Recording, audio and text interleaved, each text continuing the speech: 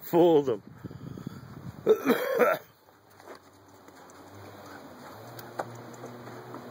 I should actually do something constructive.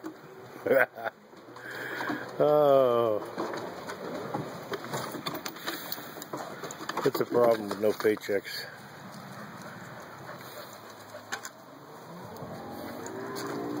Time is free.